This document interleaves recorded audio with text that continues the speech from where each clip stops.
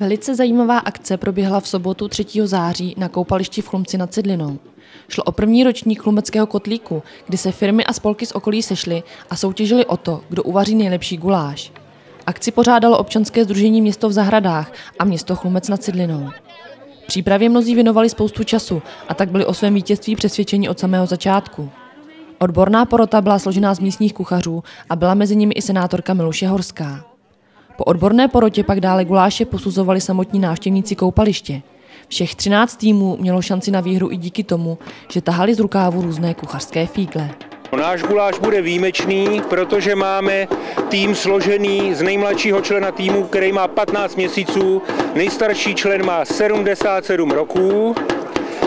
Dělali jsme několik měsíců přípravu, každý týden pravidelně, trénujeme, vaříme, pijeme u toho pivo.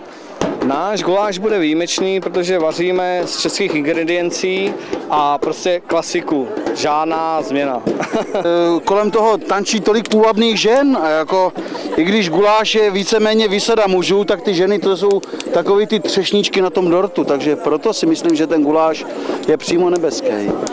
Já jsem sice jenom pomocný kuchař, jo, ale jsme si naprosto jistí svým vítězstvím. Naprosto, naprosto, naprosto, naprosto. Jsme originální, protože jako jediný máme divočinu.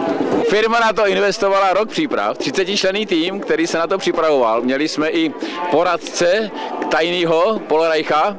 A a předpokládáme, že dneska zvítězíme. Náš guláš je výjimečný v tom, že je domácích zdrojů, že není jako nějaký, kde je hospodský guláš nebo to.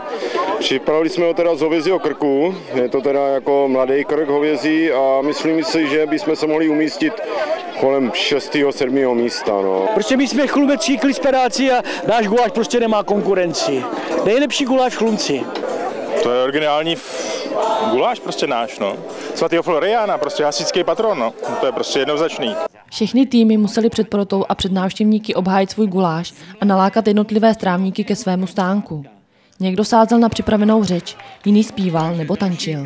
Takže my vás zveme na náš vynikající guláš a protože jsme zjistili, že jsme tady, jako máme to naše družstvo, nejnižší věkový průměr, tak už proto jsme si vybrali maso z mladého bíčka.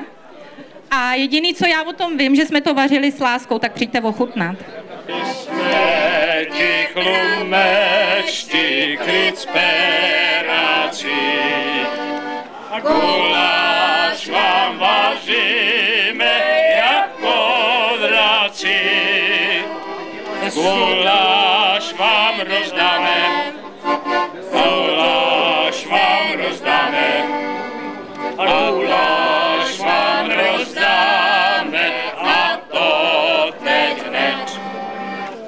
U stolku číslo dvě na vás kluci čekají, dostanete výborný guláš se zeleninou a s, z hovězí chlíček, s fazolkama. Maďaři takový prostě neumějí.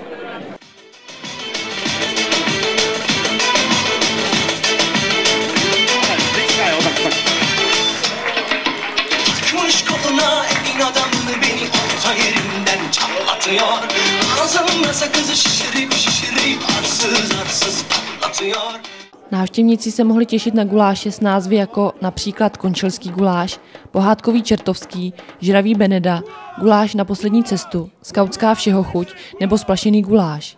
Jak nápad na chlumecký kotlík vlastně vznikl? Nebudu zastírat, není to úplně originální, viděl jsem něco podobného na Moravě, my jsme to ještě samozřejmě 300 násobně vylepšili, takže dneska jsem rád, že tady je hodně lidí a všem chutnalo. Eh, vítěze nehledáme, vyhraje úplně každý. Po obhajobě všech 13 gulášů se přistoupilo k odebírání vzorků pro porotu a výstřelem bylo zahájeno ochutnávání i pro návštěvníky, kteří vybírali nejlepší guláš pomocí hlasovacích lístků. Práce odborné poroty byla navíc těžká a složitá, přistupovali k tomu opravdu svědomitě. Podle čeho posuzovala porota jednotlivé guláše? Podle chuti, konzistence, to znamená hustota, kvalita nakrájeného masa, druh masa, cibule, eh, estetika, prostě hygienu, všechno, co k tomu patří. Přibližně tisícovka platících návštěvníků dokázala během chvíle, že tato akce si zaslouží další a další ročníky. Zhruba 1300 porcí se rozdalo neuvěřitelnou rychlostí. Odborná porota nakonec po dlouhé úvaze dospěla k tomuto rozhodnutí. Na třetím místě skončil tým Radnice s končelským gulášem. Druhé místo patřilo Sultánovi Harému s názvem guláše Turecká šavle a první místo obsadil tým Pardál s pardálským gulášem. Vítězové obdrželi pohár od paní senátorky Horské a dostali také krásný putovní pohár. Návštěvníkům chutnalo zřejmě jinak než porotě.